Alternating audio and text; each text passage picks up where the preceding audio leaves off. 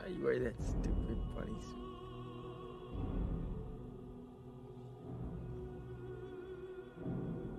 Why are you wearing that stupid man suit?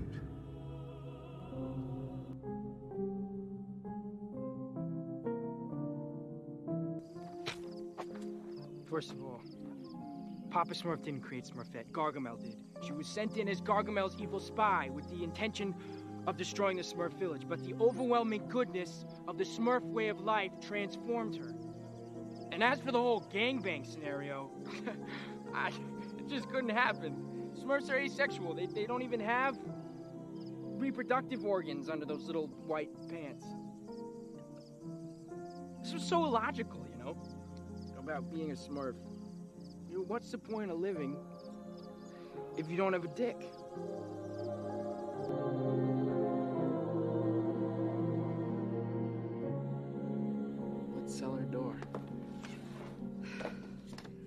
Famous linguist once said that of all the phrases in the English language, of all the endless combinations of words in all of history, that cellar door is the most beautiful.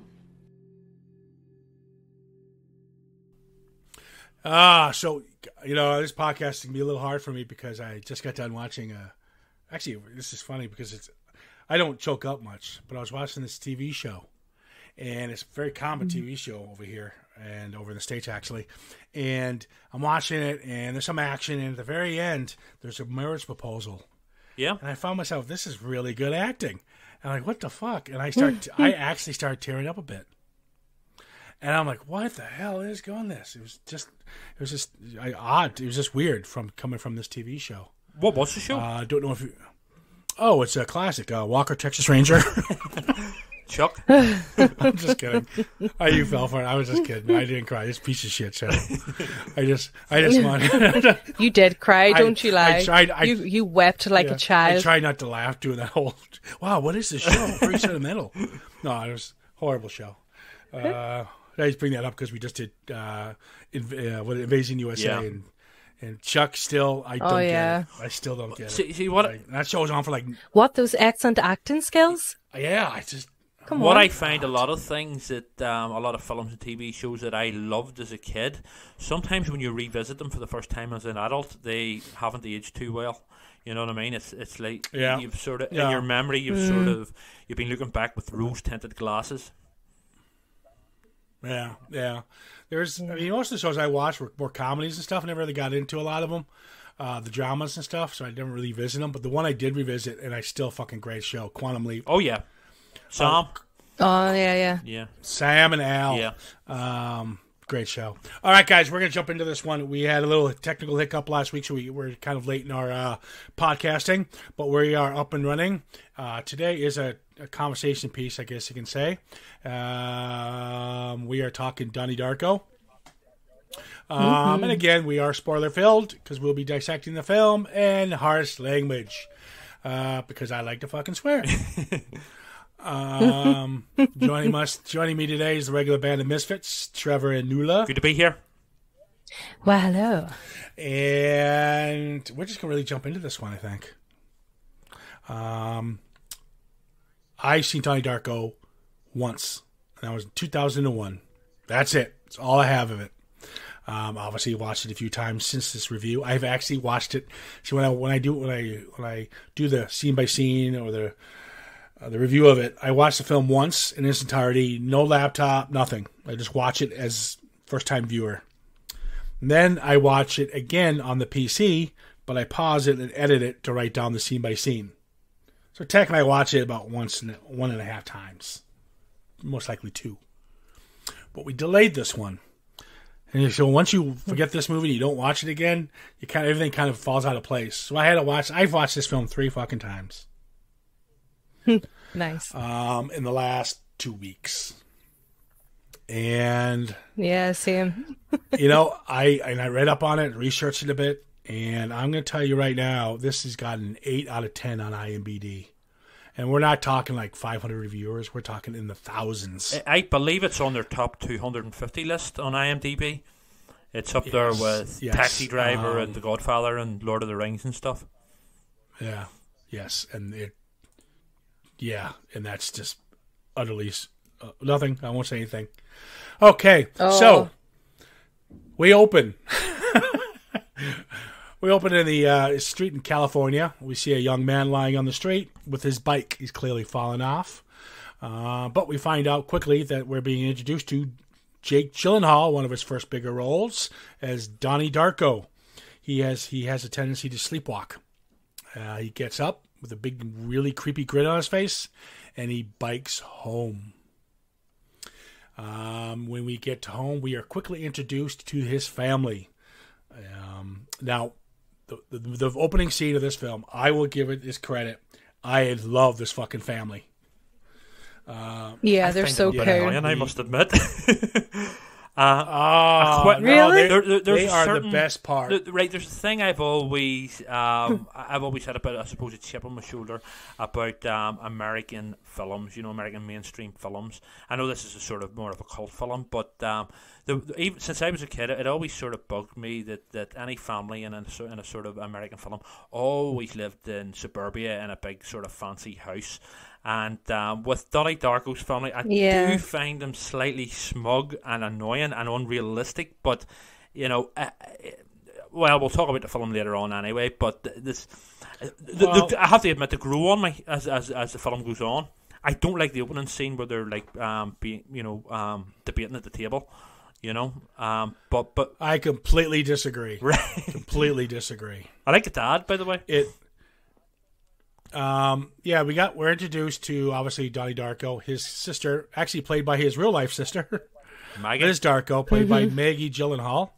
Uh, we got the dad and the mom, the mom who I love, Mary McDonnell. You guys probably know her from Dances with Wolves. I like her a lot. And her younger, She's younger cool. sister, Sam, played by Daveigh Chase, who's actually biggest claim to fame after this, she's just a wee kid in this. She was the the killer in the ring. Yeah, she was also starred in a sort of straight to She's- straight to video sequel, um, as the same character called. Yeah, S. Darko. Oh, great. Some Yeah. more- add- I heard it was seen it, I uh, can't pretty bad. it, but I I heard haven't it well, then it's, it in, then it's in good company. Uh, In good company. Oh, all right, so that's pretty much the, the, uh, the, the group. But anyways, yeah, it's this it's this dining setting, and they're having dinner, and uh, they're very funny. I think this very funny. One calls a suck a fuck, the other calls a fuck ass. Yeah. It's Yeah. a funny dialogue.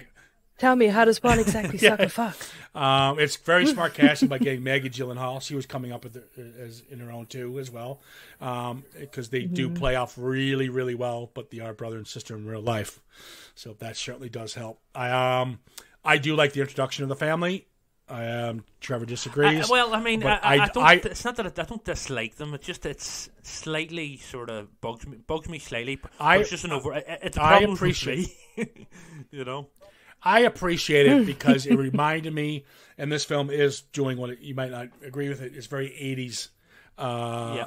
Oh, yeah, big time. John Hughes. Yeah, I was just about to So say very uh, uh, 16 candles, Home Alone to uh, some kind of wonderful, Pretty in Pink, all the Breakfast Club. They all have that.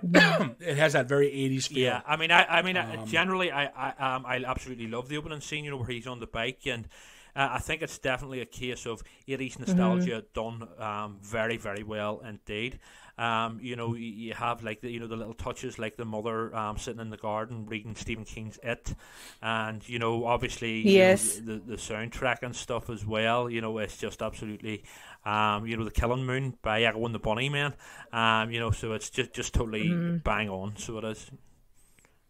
Yeah, the soundtrack to this film is That- I was awesome. about to say, um, if you take away anything from this film, it's the soundtrack. The soundtrack is, is one of the best uh, I've heard in film. You uh, you obviously would haven't agree. heard the Walker Texas Ranger soundtrack. Ugh. I haven't, thankfully. Yeah. So after after we're introduced to the uh, the parents and the family and so forth, uh, the mom goes up to his room and asks him where does he go at night. Clearly, as I mentioned at the beginning of the podcast, he is a sleepwalker, and the mom has to, ch- uh, you know looks a little bit concerned. Even having that, that's why I like that opening scene. They're funny and they're having a good laugh, but then Mary McDonnell can switch it.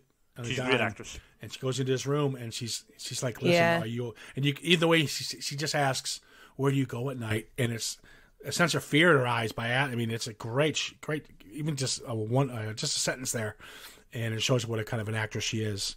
But she's obviously very concerned about her son, and he's a real douchebag to her. Um, I'm going to tell you right now, I one of the reasons I'm not going to like this film, and I'm going to put my cards on the table. I cannot stand this character. Donnie Darko is an obnoxious fucking prick. But but but I, I would I would hate like, but, the but very realistically play it as a typical sort of teenager. yes, that is so many that, that teenagers, is true. especially male teenagers, are obnoxious little pricks. Yes.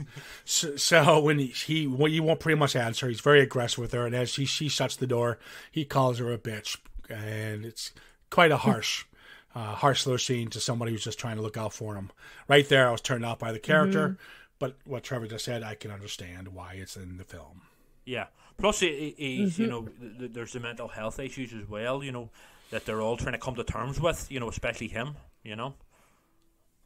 Yeah. Yeah. Um, right after that scene, we do see Donnie taking some pills, so we know he's on some kind of medication. Um, we cut back. Donnie wakes up and he's going again. He's doing one of his sleepwalks. He's in another trance as he walks down the stairs, and you hear this little voice in his head saying, "I've been watching you." This is the voice of Frank, his well, I believe, his alter ego. Um, he just he seems to. The voice seems to be luring him telling him what to do. Um, he goes outside and we see a bunny, um, little bunny man, a bunny suit with a bunny mask. Little bunny man, that makes him bunny sound man? cute. He's frightening. Yeah, Yeah, the whole band's just there. Hey, Donnie. What's up? yeah we meet Frank. He's a, a man in a bunny costume. Um, and he just says 28 days, 6 hours, 42 minutes, and 12 seconds. That's when the world will end. We cut back to the house. The sister is sneaking in. Uh, sees a little party girl. And suddenly we hear we see an earthquake and it's hitting the house. We find out pretty soon that it's not just an earthquake. Yes, I'm right. yeah. right? it- It's a jet engine. Yes. Yep. Donnie Dar- yes, Donnie Darko wakes up. He's in the middle of the golf course this time. Not on his bike, not in the middle of the street. He's actually in a golf course. This is where we meet Jim Cunningham, played by Patrick Swayze. He plays a he plays a Oh. health guru.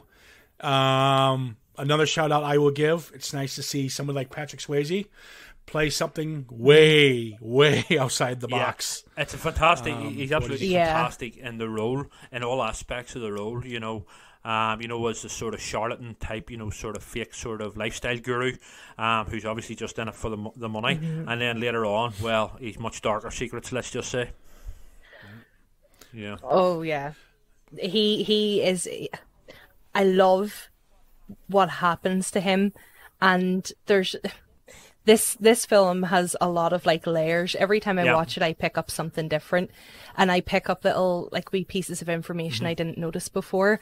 And researching this film, it's so much deeper than than Oh, just elaborate. what you see Yeah. too. You know, if you re- yeah, yeah, absolutely. If you read the pages from the philosophy of time travel, it gives you, a, and that's the book uh, that he gets later in the movie. Yep, exactly. And it just gives you a whole other angle at this film, and it's really deep. And like the whole scene with the bunny, that is a really significant. Like the first time you see Frank is a really significant moment in this whole film. Um, I could go into this in stupid detail, but practically there's two two universes, pretty much a tangent and a primary, and that's whenever uh, Donnie has kind of met with his fate, and these certain circumstances are going to come into play to to make things happen. I yeah, don't want to go too, I've read all too that deep stuff into as well. it, but it's it's yeah. fascinating, and there's it's like aliens so behind interesting. it and stuff and it's all that. so sort of thing. Well, that's what they say. Is it? Is it? Is it like an intelligent life, like outside of us? Like, are Being we controlled. in? Are we Yeah. being controlled? Exactly. And or is it like a divine intervention? Because they Yeah. mention God quite a lot. Um, like if you watch the direct, like the director's cut and the deleted scenes, there's a lot more information in there that It- you it- don't get. It's a film that, Um, real, because of these little bits of things that you notice and stuff. It's a film that will always improve on repeat viewings. It keeps giving. Yeah, it keeps giving. Uh, okay, sure. Kieran's not convinced. you know. No, I'm I'm not, and uh, we'll get to it because this guy hasn't done shit since, and there's a reason why. All right, so um, yeah, so we meet Patrick Swayze, who's his health guru. You know, uh, the biggest fucking hypocrite on the planet. The great thing about this film, it it takes what Hughes did in the '80s, and you know the wholesome mom and dad and goofy blah blah, and all the teachers that you're interest, introduced all this. Film. This film kind of flips it and the hypocrisy that goes on in the schools. Yeah. It talks about, you know, well, the health guru, Patrick Swayze, you know, be con, be one, and you find out a real ugliness about his character. A lot of hypocrisy in um, uh, the adult world in this Yeah, film. uh, uh, the, the the teacher as well, who's a huge fan of um, of Jim Cunningham. Yes. Um, you know, she's like a Mary Whitehouse type. You know, you, you know later on she's wanting to ban books and stuff. You know, all this sort of thing. She's actually re- a really great character, as much as you want to choke her. you know, Oh, I hate her Yeah. so She's- much. She always plays that kind of character. Yeah. She's a good character actress. I doubt your commitment Um, to sparkle motion. oh my god, it's so cringeworthy. um, so when Donnie gets back from the golf course sleep no sleepover, he realizes that little that was not an earthquake. A plane engine has crashed through the roof of the house. The real mystery is uh, nobody knows where the plane engine came from. Um, it's not registered. nobody. F- FAA says we have no idea. It's not a registered plane. All parts are marked Yeah. um, with their own DNA, technically, and they have no idea where this came from. We cut to the bus stop. The bus stop is where all the kids meet up. Um, during the, I guess it's one big school. They don't have a high school or middle school. It's a school, so it has all gra- all grades. Because his um, all younger kids, including his little baby sister, go to this school Yeah. we meet Donnie's friends, and you think Donnie's a douchebag. Well, these two are also douchebags. Seth Rogen. Yeah, Seth Rogen. Yeah, that's his first one of his first roles. Uh, um, I like your boo. Thanks. Kieran. Uh, or You're welcome, Trevor. Um, they're pretty abrasive to a young, a young Asian girl who's in this. He's a little overweight, and they kind of make This fun is of her. one of Shut this is up. one of the things that did slightly annoy me Cherita. about the film because uh, not because of you know the way they behave, the- you know because it's fiction obviously, but there is a bit of there's some cliched characters, you know like stock characters for these types of you know films. You know there's like the generic bullies, you know played by Seth Rogen and the other guy, you know, which the sort of cliche sort of side of that did sort of Well, that, that was deliberate. I mean, that's piggybacking on what I said about Yeah. the '80s kind of John Hughes. It's the exact same thing. Yeah. you have you have the bullies, you have the low self-esteem girl, you have the boy who's too shy to say he wants to kiss the girl. and then the Um, misfit Donnie. Oh yeah, oh yes, the misfits. So it's all, all this told around a fantasy esque background, and whether it works or not, we'll get to. Um, as we get to the school, the great song "Head Over Heels" is playing Brilliant song. and it's and what they do is they pretty much do a slow montage, kind of meeting the entire cast that we're about to of characters that we're about to meet, including the teachers. Um, we meet uh, Jena Malone, Yeah. who's uh, uh, sorry Gretchen, who's played by Jena Malone. Um, and all these uh, Drew Barrymore plays a teacher in it. Noah Wyle plays the uh, science teacher, who will have a big conversation coming up with Mr. Darko himself. And it's kind of just a cool MTV intro. Yeah, I liked it. So did. Yeah. Yeah. Yeah. and we see Donnie. Uh, there's a lot of cut and forth between him and his shrink. So you'll have a lot of quick cuts. You'll be interested in this big school, then two seconds later, Donnie's in the shrink. So sometimes it kind of deters from what it was or what path it was going, and it quickly cuts to him being with the shrink. I don't know if that means anything, and quite frankly, I don't care. Well, there's the whole there's the whole section. It kind of is giving you a map of the the players in this game, or the people who are going to influence Donnie's choices Setting throughout the up. whole movie. So it's quickly Exposition, introducing. Yeah. yeah. it's quickly introducing you to Yeah. e- each each of them exactly, and they actually spend the part in the classroom where Gretchen comes in and chooses the boy she wants, who who's Yes, who yes. the boy she Yeah. likes. And she sits beside Donnie, you know. So there's that whole section there. I don't think it's too rushed. Um, Well, it I works think and it kind of just sets up Yeah. what you need to know. I just, yeah. yeah, I, I mm-hmm. know the scene. You pick the boy who's the cutest. Drew Barrymore says. Mm-hmm. Um, and you're introduced to Grandma Death too, who is another Yeah. important person in, in the movie. Mm-hmm. Who's Grandma Roberta Death? Sparrow, the old woman. Oh, Yeah, so we're Roberta not introduced to her yet. You are. You nearly run into her whenever Donnie and the dad are driving Oh to the yeah, but that's I got that. Where, Mm-hmm. where, where, where am I? Oh yeah, I got that. I just jumped ahead. Yes, he's going to see the shrink. Yeah, he runs into the old hag, and she her thing is Mm-hmm. That she keeps going in the mailbox to look for something, and that's all she does. We will be we will find out that she's a lot smarter than she actually appears to be, but she is Yep. yeah. Keeps going back looking for something in the mailbox. That mailbox, that letter she's looking for, will come into play. Yes. So again, they have these little M Night Shyamalan, you know, little spoilers or little clues they pop in that you Yep. have to remember. Um, which the Sixth Sense did it three thousand times better. Anyways, Oh. don't you do oh, me. I'm gonna go watch Stop Walker Jack Stranger. Yeah, that's more your speed. Kieran, going ahead. wow. Me don't like being fun of. I mean, they don't even have a monkey in this. You I always know should put don't. a monkey in a movie. That would would be That'd be cute. so funny. Just give me a monkey, you might win me over. okay. Donnie and his monkey. Oh my god. Yeah, that's the problem not liking films like this. Maybe I'm just not intelligent enough. And I know this is where my brother be listening, going, "Yeah, you're fucking right." Um, but I just, I don't know. Yeah, I, we're still we're still working on it here. All right, so Donnie's had his shrink, so he decides to tell her um, that this little character Frank keeps telling telling her that the world is going to end. The world is coming. Um, then we cut back to the school.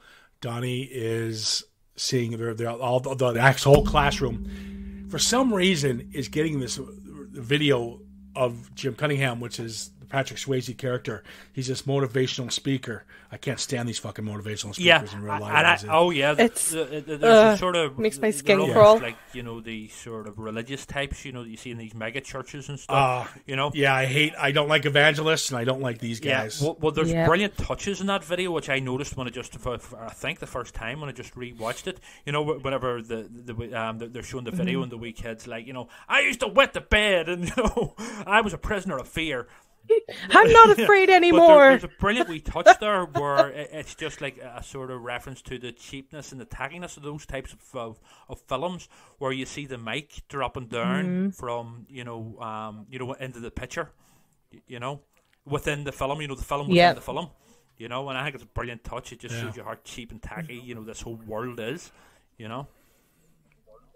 yeah, how fake, Yeah, fake it yeah, is. and how yeah, exactly, Mm, staged. Yeah. Um, well, you guys got a lot more out of it than I am. I just see it. No, You never know. We might turn No, you around Well, by the end yeah, of this. Let's I love the way you know the, So- the, the film is that that sort of you know cunning visions is, is shot in soft focus and stuff. You know with all those crappy effects. You know, but yeah, sorry, go ahead. Oh God. no, you're right. Um, so Donnie, we'll cut back to Donnie. This time he's having another dream, um, with the bunny. We'll call him Frank, so we don't make it sound so cute. Um, and this time he has an axe. And then we quickly cut to we find out that the school has been closed for the day, and the students are being turned away because somebody has went in and vandalized the bathroom uh, pipes, and there's a bunch of flooding. Hmm, Donnie Darko had an axe. Is this something he's doing? Who knows? Clearly, it is him. Yes. It's not exactly, you know. Mm-hmm. It's pretty much spoon fed for you. Yeah. he is the culprit. Yeah. There's a a book that the class are learning about, and it's called The Destructors by Graham Yep. Greene. Yep. And there's a scene in it where they burst the water main. So this uh this kind of sparks Yeah, a whole the Mary Whitehouse a whole bandits debate filth in- speech from the the woman. Yeah, yeah, Yeah. that's ex- that's coming up. I have that. You're, the the person the person you guys are talking about is Kitty. Yes, Kitty. Yeah, yeah. yeah. Uh, a real book burner. Yeah, But like she's so good in it. She, Oh, she's brilliant. She's in like the one of my favorite She characters. is. She's Yeah. yeah, you hate her, but you love her. Yeah, she's brilliant in the role. Just Do you know who she reminds me of? Chastity Pariah from Elvira, Mistress of the Dark. Jesus. She's that kind of Yeah. character. You know the about- the girl talk who. Yeah, but it, it She really, she really of- does. One of these real Yeah, busybodies. well, Mary Whitehouse. She, she reminds me of Mary Whitehouse, who was a real person, you know, um, and she was, um, Oh, yeah. she, she was this older woman, um, very sort of, you know, Christian and wholesome, or so she claimed anyway. But she, in the in the seventies and eighties, um, Mm. she um, was, uh, uh, um, she protested vehemently. You know, um, you know, she was very well known in the UK at the time. She protested against all sorts of, you know, films and television. You know, um, and um, you know she, she she was very much at the forefront of the video nasty scare back in the 1980s, you know.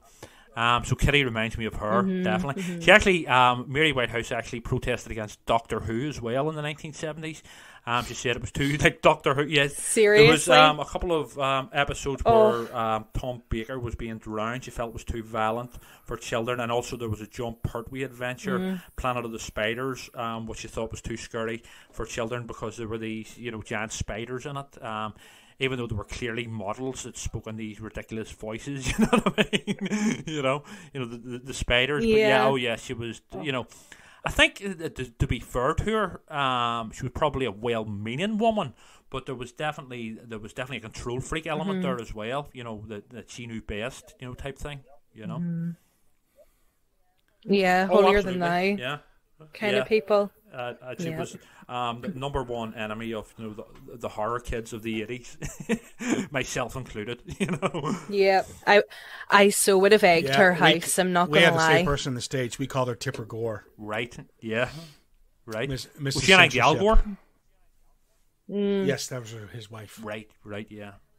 Oh, really? Um, there you go. All right, so yes, so Donnie is walking back from the school after being, you know, after school being closed, and we have a more of a deep conversation with Gretchen, and he pretty much actually having a two minute conversation with her. This is where you you know it's a, it's an adolescent, it's, it's it's a young kid. He's very shy, and he pretty much asks you, "Do you want to be my girl?" Yeah. I mean, I do that all the time when I go to the bar. You know? Do you want to Yeah, go with me? You want to go Uh, with me? Go And where? they'd be like, Kieran, Will not you again. see my mate? And then, you know, you know, when you, well, you know, nine out of ten times when I go and ask that, you know, that tenth one usually works. Yeah. Um, I, I, one of the ones that made me laugh a as a pickup line was my mate wants to know will you see me. I was like, yes, that's so good. Mate? so, Just, uh, but it, just asking somebody out directly, but I know. Through your uh, mate. yeah. I th- it's Yeah.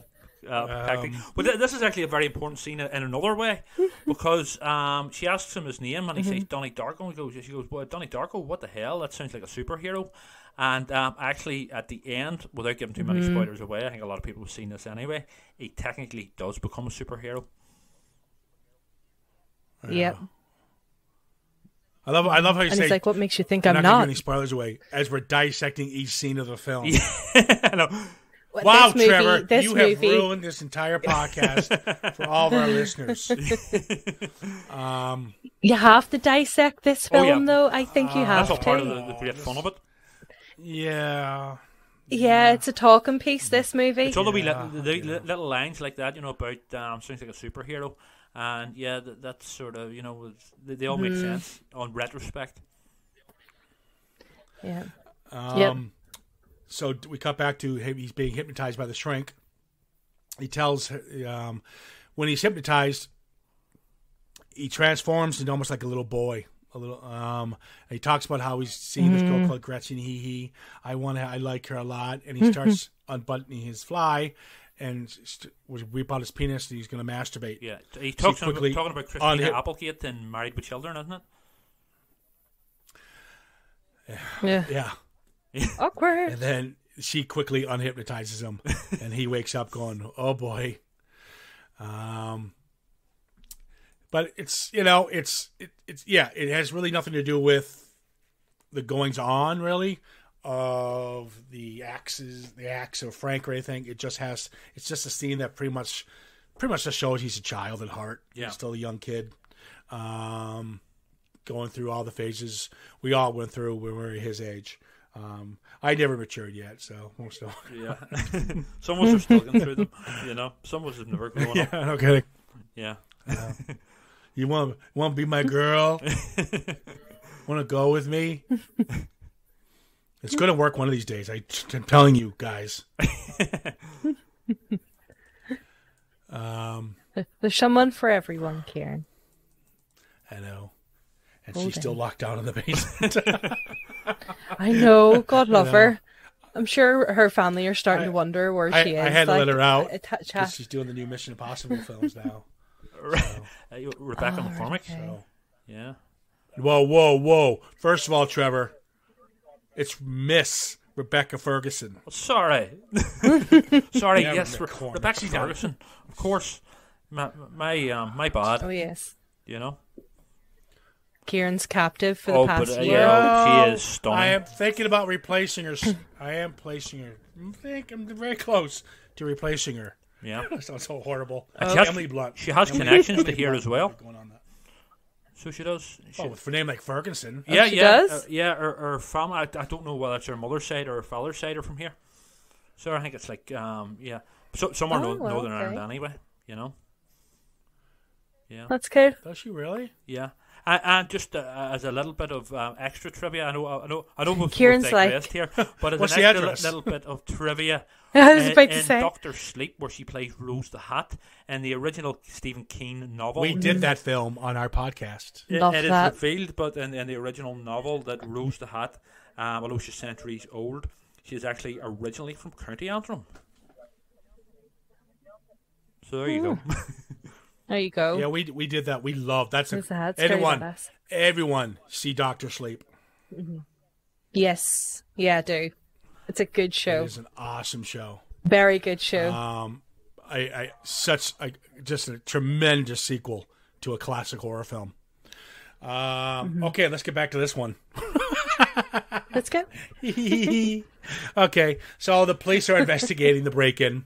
Um, they see some, and so now obviously they're asking people to because um, the they graffitied the place.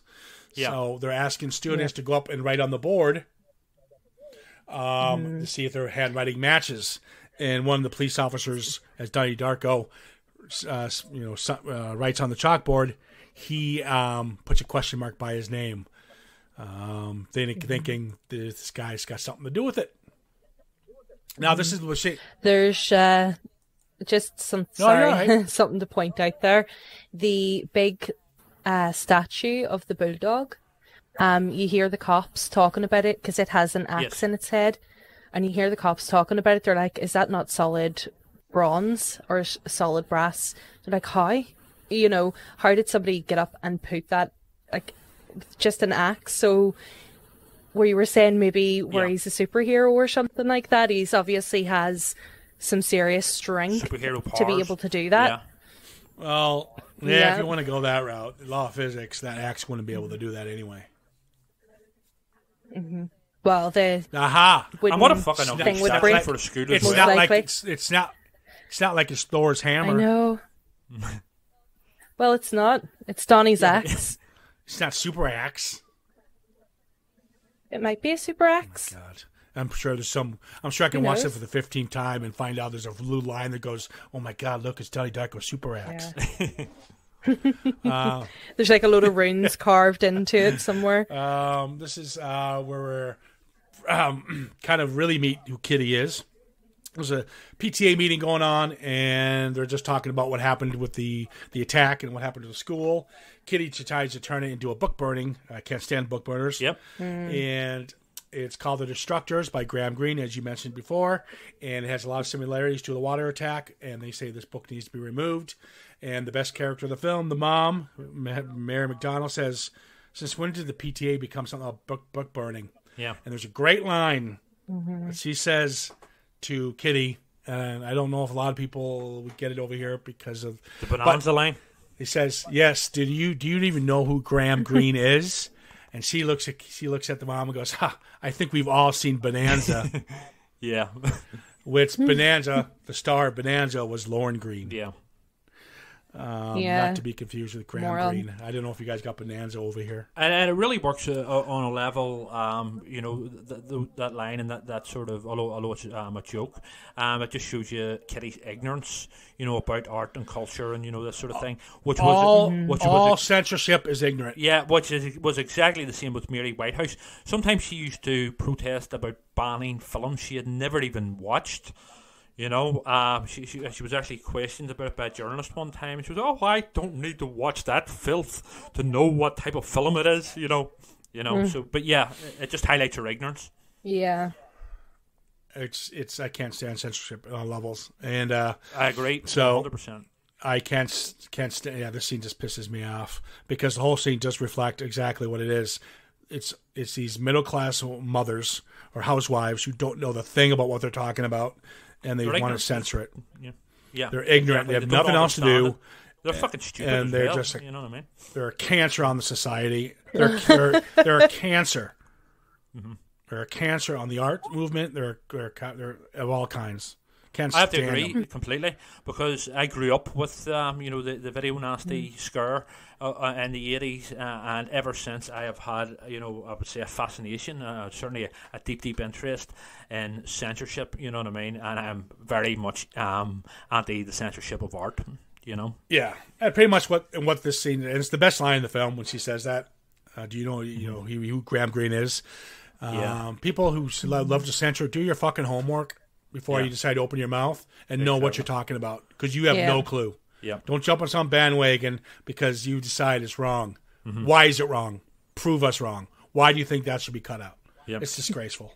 Actually, my All favorite, right, my I'm in a favorite line comes mood up now. later on, but we'll talk about that um, when we get to it. So after the This film has not yet been rated against censorship, I guess. That's right. Fucking, fucking Yeah. right. um, we warn people that there's- we contain harsh language, so that's enough. Yeah. You don't like us, turn us off. but but or just walk away. Keep us playing because that looks good for our downloads. All right. Thank you. Go with go with God.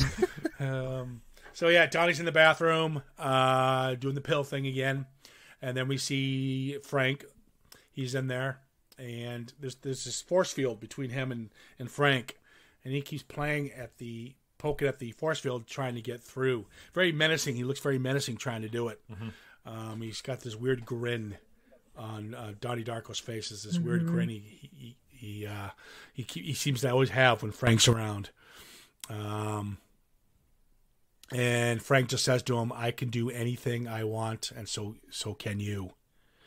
Um, again, it seems to play more off this is his his conscience talking to him, um, but I'm sure you guys have more of a deeper meaning about that. Yeah, it's the timeline's being manipulated. You know, and Frank's just a sort of Yep. um, a tool, essentially. I don't mean that. I don't mean that in a derogatory way.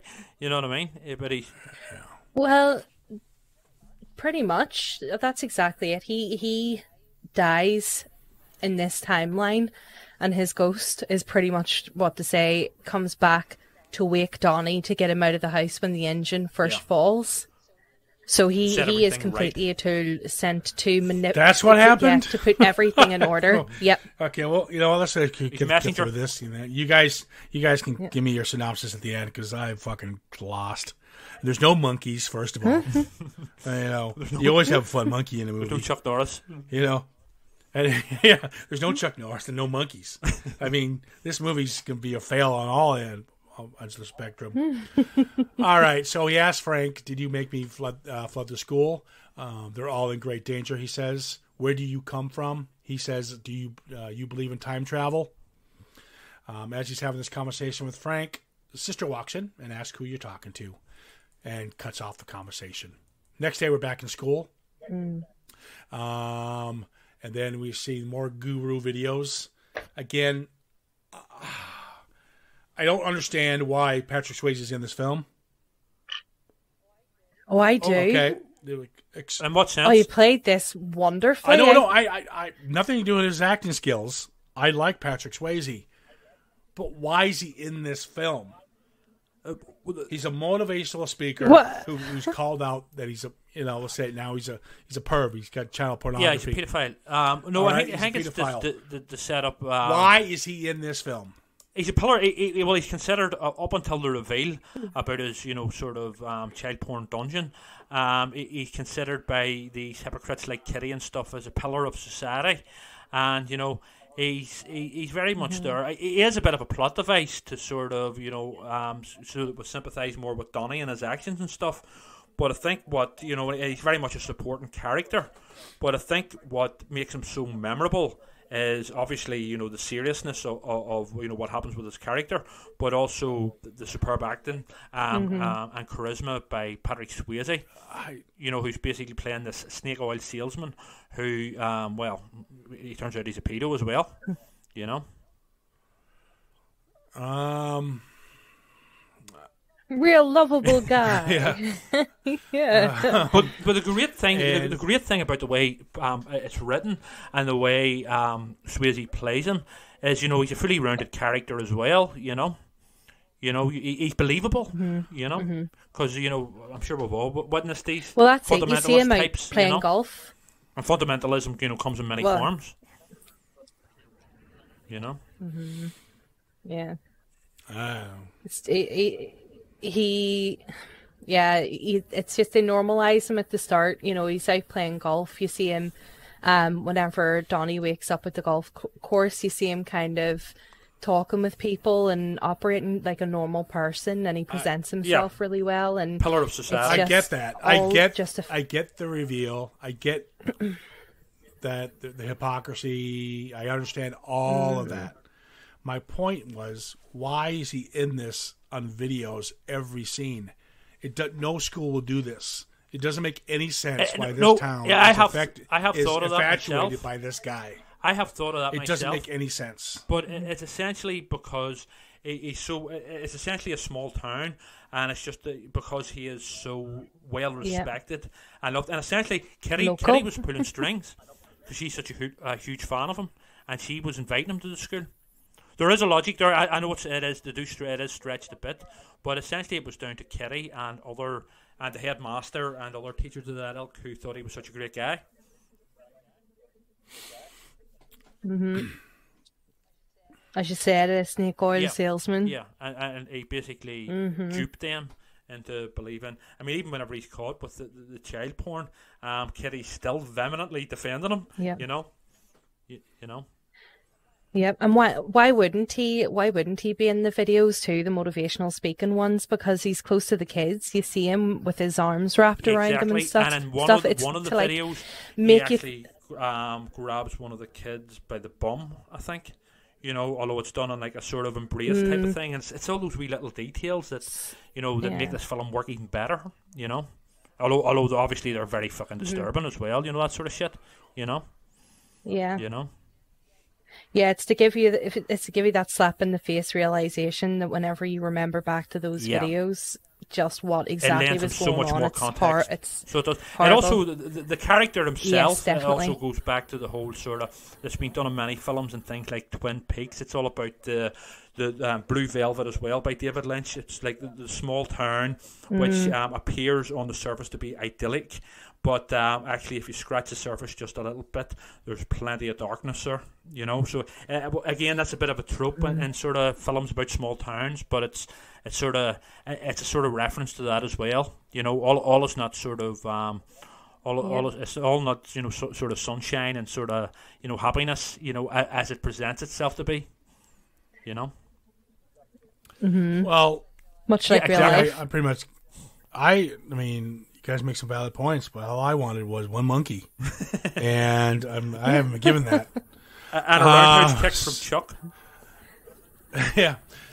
So Don, um, we have another altercation. It is a funny scene. Um, so bear with me. Here's the I time. So it. Donnie's arguing with the uh, kitty. Um, she's teaching a class, and she has these two lines at the end of the boards, each side side of the board. One's fear, one's love. And she gives has a student go up, read something from a card. What would you would it be fear or love? And Donnie Darko has the argument where you can't place all these scenarios between two two categories. Yeah, two single emotions. You know, different life, life in general, which is a good point. Life in general falls on all different kinds of edges of the spectrum. You can't predict, you know, what's fear and what blah blah. again, He gets into an arg. Sorry, go ahead. No, you're right. Go ahead. No, again, this is a brilliant scene that really um, defines Kitty's character and, and her outlook on the world, where everything is black and white, good and bad. You know what I mean? She she's completely she she has no grasp of, of nuance in, in any shape or form, and this really highlights it. You know. Sorry, go ahead. You were saying. No, you're okay. I just laughing at the next scene because I love the dad in this movie. so, Yeah, I so think the it's teacher brilliant. goes, "Listen, Donnie, if you don't do this assignment, you'll get a fail for the day." We cut to he's in the principal's office, so we, so you know he's in trouble, and you find out he says, "What happened?" He goes. She told he told me to shove. Uh, he told him to shove her curriculum into her ass, and the dad starts laughing. He told me to forcibly I really insert the the dad. I must lifeline admit. exercise card into my anus. and the dad starts laughing, but he quickly changes it with a cough. it's, it's a pretty funny scene. Yeah. Um, It's the wife's face coming out of the office too. You can see she's just Yeah. holding it back, like like from bursting out laughing. It's very good. um, yeah, because their altercation at the PTA, they give a sh- two shits what the kitty thinks. yeah, exactly. Then we find out, we see in in uh, in the title, twenty days remain. Some kind of a countdown that Frank has given Donnie Darko. Donnie Darko is now talking to Noah Wyle. Noah Wyle is plays Professor Monnitoff. He's the one dating Drew Barrymore's character, who I also think is a pointless character. But you guys are probably, yo, no, Whoa. here we go. Here I'm going to get yelled at in a second. She is. oh my god! When I she's very important. She's the reason it got made. Yes, yeah, and, and the, the only request that she had whenever she funded it and produced it was, or she got the funding for it uh, as producer, was that um, she was given the role of the teacher, um, which was, uh, I believe, in the script anyway. Uh, I think the, the thing you were saying that you know pointless characters and stuff. I think the, the film as a whole is more of an ensemble piece. As opposed to you know you have a leading man Yeah. and you know sort of I'm, damsel in I'm distress and stuff. I'm not saying. I'm when I when I say Noah Wyle's character is probably more important than Drew Barrymore's yes, character. because he gives a lot of And Drew Barrymore was pretty much just written in. Like there's, we'll get to it. I don't want to jump ahead, but we'll, there's two things I don't understand. But she's pretty much just there mm-hmm. to put one line in the film. Okay, mm. and that's it. She's there to, and it's it's, it's a throwaway line so you can reflect back. It's called cellar door. yeah. She's there to give you the name cellar door. That's it. And it's just that's my point. And it's not clever in the way they do it. But we'll get to it. So we're introduced to Professor Monnitoff, and I can see Neil going, that motherfucker. That motherfucker. All he all he wants is Chuck Norris and a monkey. That's all he's looking for. No, no. So You can you can enjoy it. I they, they start talking about they talk about worm wormholes and time travel. I'm not going to get into the whole Stephen Hawking thing. We're all not going to get into the Stephen Hawking thing, but it's all about um, uh, yeah, time travel. And yeah. I no, I'm not at that scene yet. We'll get we, the second conversation. I have a question with you guys about that he has with him. Mm-hmm. Um, but he gives him he gives her this is the important part. He gives him a book, and it's a book simply about time travel. And he mm-hmm. finds out that it's actually the book written by the recluse. That's the lady in the mailbox who keeps running back to the mailbox. Grandma Death. Uh, Miss Sparrow. And this book is obviously going to be the the center point moving forward. So uh, we're back at the shrinks. The shrinks. He's obviously uh, chatting away. He talks about Miss Sparrow's book about time travel and the things he's dealing with. He tells her that um, when he, when he was coming to the shrink's office, he him and his father almost ran over or hit her by mistake, but she had whispered something in his ear a few days ago. And what he whispered in that ear, we finally find out, is that every single creature dies alone. Very, Nihilistic, quite, yeah, very depressing Yeah. kind of theory, but true. or statement that is. Wow. Wow. And this film has not yet been rated. We're going to depress the hell out of everybody. to the most extent. Um, Have a nice day. Uh, the shrink says, "How did that make you feel?" Yeah. Next week, Jack Frost. Um,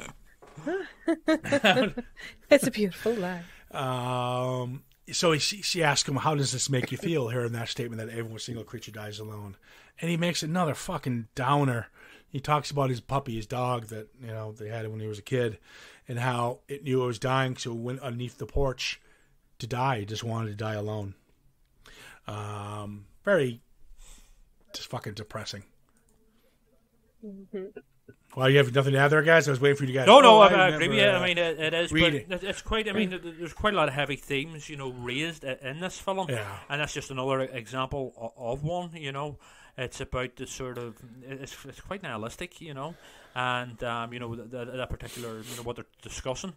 So they are. Um, so yeah, it's it's it's it's heavy, bleak stuff. But I have to admit, I enjoy that sort of shit. So I do, you know. Yeah, yeah. You Yeah, guys, same. you guys, yeah, you guys are into it. Uh, that's cool. You know, so it's so it's thousands and thousands and thousands of other people, Yes. but a lot of those fuckers liked Hereditary. So what am I? and Nuala, you know how much I love Hereditary. Do you know what? Hereditary was okay Until- until, the last yes. maybe 20 minutes and then it went serious Evil Dead Oh, level it wacky so bad. and it just oh, made Oh, me got laugh. Yeah. I mean, I, You know what I have mean? You- you guys have got it. to. Oh God, you guys have mm. got to listen to our podcast Hereditary. It is the film Yeah. where I go off on the director. Ari Aster. it's so Yeah. fun. I did think his Oh, second, my his follow-up God, film no talent great. ask.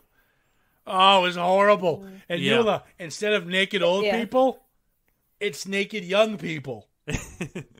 it's so. s- By, by the way, Midsommar. I, I wasn't saying the Evil Dead comment as, as a Oh, derogatory yes. thing because I love the Evil Dead, but there's parts of the Evil Dead Yeah, which don't- are it's tongue in comedic. cheek, You know what I mean? When the Deadites and that come out. E- exactly. So whenever that body floats down the stairs without a head and right up into the into the to treehouse. It really worked for me. treehouse, uh huh. I was just like, seriously. So scared, bad. The, scared the shit out of me, and that's no mean feat.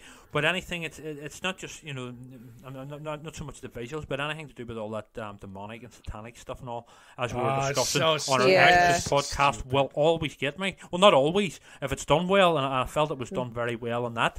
Um, you know, uh, and, and the ending. A lot, a lot of people have criticised the ending, but um, if you sort of, if you rewatch the film, you know what I mean. The ending totally No. works. You know, so that's it for me Uh, anyway.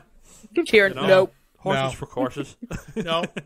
And then you've got this other guy, and I this one's a little better. Robert Eggers. He did he did a film called The Witch. oh, Eggers Another is thing that uh, the best director, Oh, art God. director about at the moment, in my Oh, opinion. Ah, no, he's not. God, what is with you people in Wicker Man esque films? Oh, I, Ding, ding, well, ding. I, I thought. Um, I mean, the- the give me a break. No, it had a cool goat in it. It, and also it had a cool goat. and also I- I like the um, goat. the Lighthouse with Robert Pattinson and Willem Dafoe that he. Oh my directed. god, that piece of shit. Absolutely fantastic film, I have to say. Oh my god. and here, No, that is okay, another Trevor, one stop, that I promise stop. you. Will, will, It is the worst piece of shit. No, Willem I Dafoe. disagree. Robert- This. Why do you guys think these are good? This is this is. Oh my god! It- Great. I'm gonna get a black and white camera. I'm gonna run around the streets. I'm gonna throw. I'm gonna throw a goat in the middle of it. You guys are gonna be going. Oh my god, that's there is brilliant. much more to it than and that. And I'm gonna make millions. And then I'm gonna get cast Rebecca Ferguson in my film. no, no, um, no. All that's right, that- Lighthouse we're, was we're- we're- but we're- back to we're- Donnie. We're going yeah. off topic. We're going off topic. Yeah, we're going off topic a bit. Um, okay, so yes, he's watching football with his dad and his friends. You know, a family outing. Uh, he's in his home, and this is where you start seeing this ectoplasm, Yeah. or uh, coming out residue coming out of all these people, um, almost like a liquid. Okay, Yes, here and you need to you need to word that better. ectoplasm. That sounds a bit wrong. All this ectoplasm, like liquid stuff, just coming out of Oh people. well, no. When you hear ectoplasm, you get that from Ghostbusters. People will know what I mean. Yeah. God knew Your mind's in the sewer. It's like Nuala. a, it's like a. Yeah, Nuala, uh, your mind's in the sewer. I'm sorry, it just sounded wrong. Okay, It's like a like a big watery snake coming out Oh, of the that's what chest. you asked. What to say. That sounds even worse. Yeah, that sounds even worse. does it? God, pervert. I'm sorry. So he starts. Um, he, he's he's just following it around, and he's he's almost like he's in a trance again, uh, in a dreamlike state. It's this clear liquid that it's almost like a s- I don't know. I, I like a Stargate Yeah, Yeah. If you've like, seen the show, if you've seen the kind abyss, of thing. one of these in the abyss. It's like a water worm. Yeah, Liquid Metal Man and, and I- I- Terminator Two, think as well. There you go. There you go. um, he fo- he follows it. It it it, uh, it leads him somewhere. So he goes to his dad's closet, and there we find a gun. Uh oh. Dun, So dun, remember last time he got the axe. Now he's showing him the gun. Yeah, things are getting stepping up a level. now- Yep. And then the then and then the uh, we read we see the words twelve days remain. So he's walking with Gretchen, shooting the shit. Kind of Gretchen kind of spills her guts about how she's kind of shitty childhood. I really could give a shit, so we're gonna skip that. Um, the parents are now with the shrink, and they're just trying to get some ideas how Donnie's doing. Um, it's actually a decent scene because she pretty much tells they tell they they find out about Frank, the giant bunny, Yeah, and they're like, "What the fuck?" yeah, But the key word they use, the key word the doctor uses, these we need to increase the meds because he has what they call, we think, paranoid schizophrenic. yeah. He's a paranoid schizophrenic, which can be obviously we know by today's um, standards is could be it actually is extremely serious. Yep, absolutely. So Donnie is being diagnosed as a paranoid schizophrenic. So he's in the uh, again the bathroom. He's taking his meds. He takes a knife, and this is where I get a little confused here.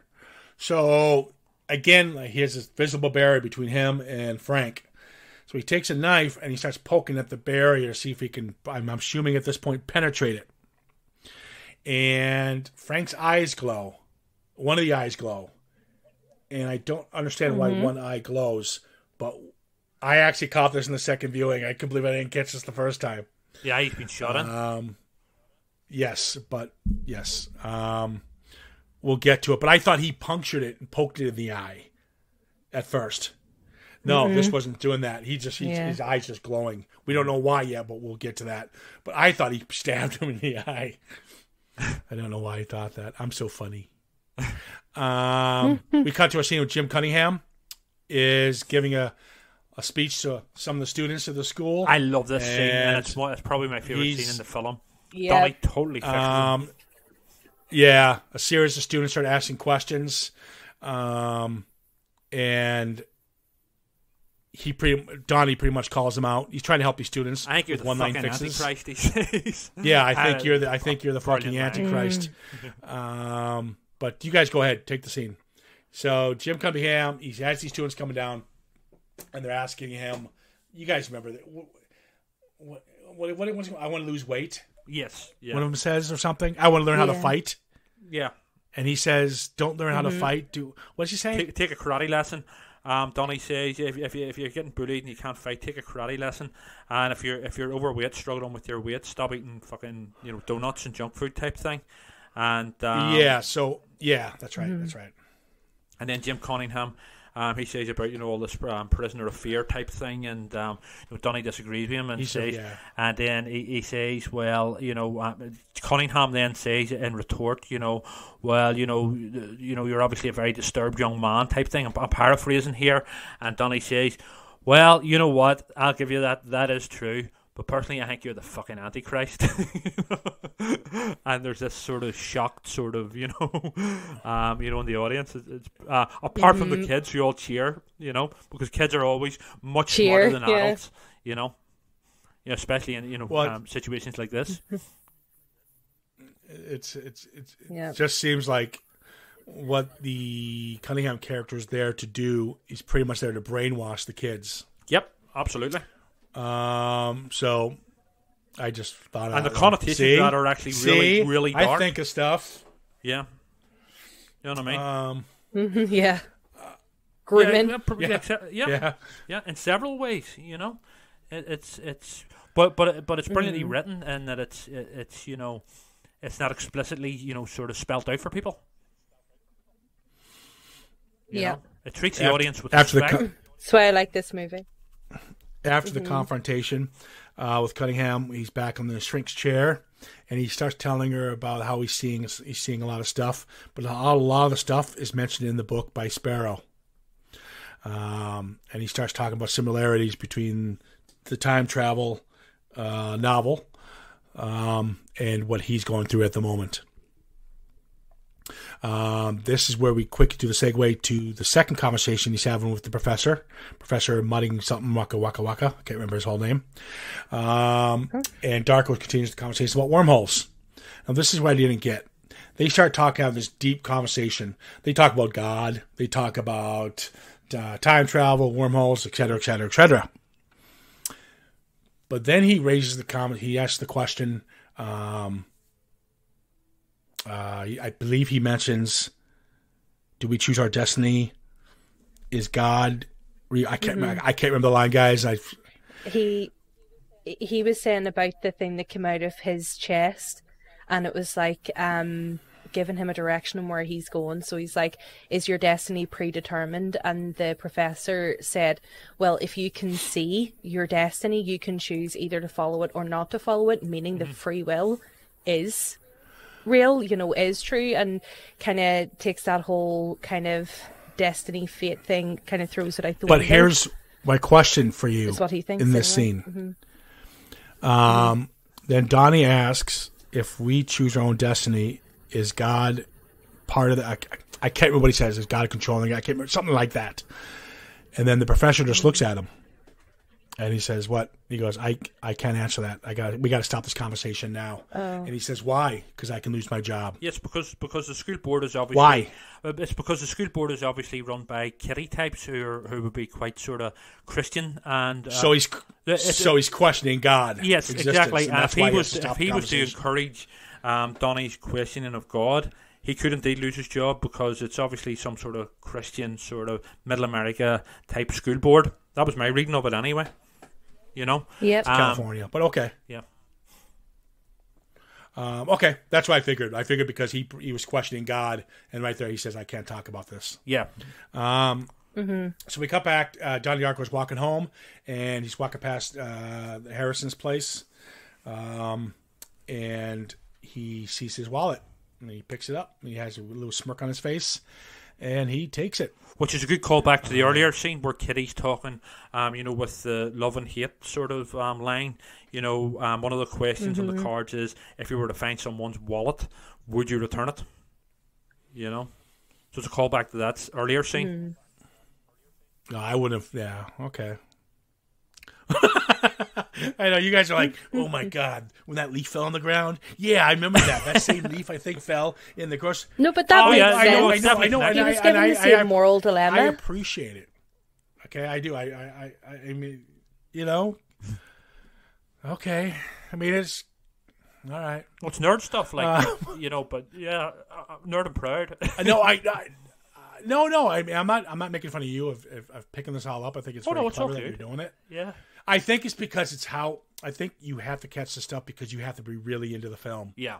If you're gonna watch Johnny Darko, you can't just yeah, let's put Johnny Darko in and watch it. Okay, It's not You gotta watch. viewing, like, Donnie Darko. It's not a casual watch. yeah, definitely not. Um, it's you know, it's it's definitely a uh, over uh, uh, lots and lots of viewings, but you have to be this. Yeah, I don't know. a bit obsessive. You got to be over it. willing to do it. Yeah. Yeah. Uh, so Donnie Darko was talking to his shrink uh, again about the book and about dreams. Um, again, how they're mirroring the book. Um, he talks about the, the watery stuff, as we talked about. Uh, we won't go any further than that because Nuala would get all offended. Like Kitty. Ban this filth. yeah. Oh my God, Nuala's kitty. Nuala's kitty. Definitely not. Um, Yeah. Uh, we cut to a scene where him and Gretchen finally kiss. Um, they decide to go to the movies, and ironically, The Evil Dead's playing. There you go, Nuala. Yeah, Yep. Evil Dead. Not uh, yeah. Can I also say Lot- whenever lot- lot- whenever they're about to kiss, um, uh, and um, you know, um, Gretchen says, "Oh, um, we can't kiss because there's you know there's this creepy guy watching us." Um, the jogger who pops up a few times in the film, at least a couple of times. He's actually um, a secret service man, so he is, who's been spying on the family after the jet engine crashed into the house. He's not he's not actually a perv, hmm so he's not. I didn't even come Well- close to catching that. Yeah. Yep. You see him at the start of the movie whenever it all goes down, and you see him at Yeah. the end too. Oh, there you go. Um, well, this this this podcast is really spoiler filled. Let's get everything in there. Uh, yeah, so they go to the movie to see Empty De- Evil Dead. The, the, the movie theater is empty. Uh, Gretchen ends up falling asleep. Frank shows up at the theater. This is the one time he takes his bunny ba- his bunny his bunny mask off. Frank has a poked eye out that I thought he took out from the knife earlier because he was poking at him. So I thought, but uh, he goes, "Why?" Do, and so he obviously Donnie starts talking to him. Why do you call? Why do they call you Frank? My father's name was Frank. His father's name was Frank. Yada yada yada. Yeah. He asks when will the stop. Um, and he goes, just do me a favor, take a look at the movie theater screen and just keep looking. And then you see uh, the scene of the movie is becoming a portal, Want to see a like wormhole? a wormhole. Yeah. it's like a wormhole uh, that we talked about earlier. And all of a sudden, Jim's house is burned to the ground. Could I also say again? This is me being super nerd. Um, stuff. The, the, the- at the cinema before they entered to watch The Evil Dead, the other film shown is The Last Temptation of Christ. So you know, there's a there's you know the temptation theme going on there with you know um, Donnie and you know Frank and stuff. But yeah, again, just me sort of. I, I love all these sort of you know bits like that. You know the wee nerdy stuff. Oh, that's cool. Yeah. Yeah, this, this Nothing wrong with that at they all. say the three things that Jim Cunningham says is bad is like uh, alcohol, Donnie does. drugs, and premarital sex. Yep, all three of these Donnie does all three. Yep, he'll Yeah. do all three of them before he dies. Yeah. But he's still a much better person than Jim Cunningham. You guys, you guys are you guys are googling this, or you read the Google. I can't even say Google, or you read like a a book. No, no. I, I mean, I, I've, I've read, I've, I have read stuff online. I, you know, fully admit that. You know that I wouldn't Oh, yeah, have got absolutely. otherwise. You know, as part of my research. Yeah. But there was other wee things like, you know, like the Last Temptation of Christ and stuff that I sort of, you know, were, were sort of neat, neat wee touches. You know, that sort of thing. Mm-hmm. You know. Um, yeah, I didn't catch any of this. um, so as um Gretchen falls asleep, he takes advantage of it and he leaves. And uh, no, that's after the house, yeah, was burned. Yeah, So Frank tells Donnie- him to Donnie- burn it to the ground, and then Donnie leaves. Yeah, um, and actually gets into the house. He said earlier, um, when he was talking to Gretchen when he first met her, that he had burned an abandoned house down once, um, Yeah. Back when he was younger, and then he does it now again, um, and yeah, so it's like a yeah. There's history. Yeah, there, there's, yeah, there's a lot of one line drops. You got to, you got to be on your toes Mm-hmm. um, to catch them. Um, but those people are going to be the the fans. Yeah. Um, But yeah, so yeah, so he's the one who burned burned down Cunningham's house. We cut to a talent show. It's his little little sister is in it. Um, they do a little dance routine. The yeah, spark.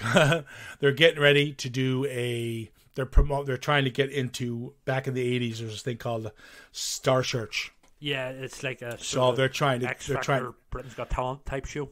Yeah, yeah, which was a real show actually in the eighties, Right. in the states. That's a real show. Um, so as they're cutting to the talent show, we find out that Cunningham's house is being burned down. Um, and the fire department uh, shows up and they find a hidden room in Cunningham's house, and the hidden room has child pornography in it. Yeah.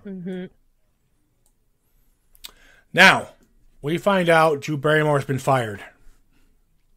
Next scene. Why?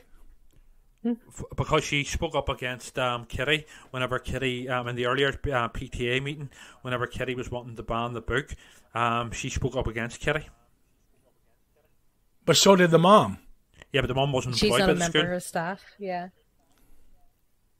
You know, it was basically I think essentially Kitty got her fired um, because she's you know sort of who does this little madam think she is type thing. You know, speaking up against me. You know.